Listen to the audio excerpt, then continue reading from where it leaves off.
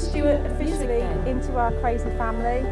Although he has been around us all for a while and he really does know what he has let himself in for, I am sure he will continue to embrace our love of fancy dress at all opportunity and our fondness for toilet humour. After all, Stu does rhyme with poo. Hello, son. Although it's not traditional for the mother of the bride to do any speeching, we just wanted to tell everyone doesn't know already what a beautiful young lady my daughter is, inside and out. She has a caring and gentle nature, she is unassuming and modest, and she works very, very hard, and yet always takes the time to help anyone she meets in need of some extra support. Stuart, you are a very lucky man. Treasure her because she is so precious.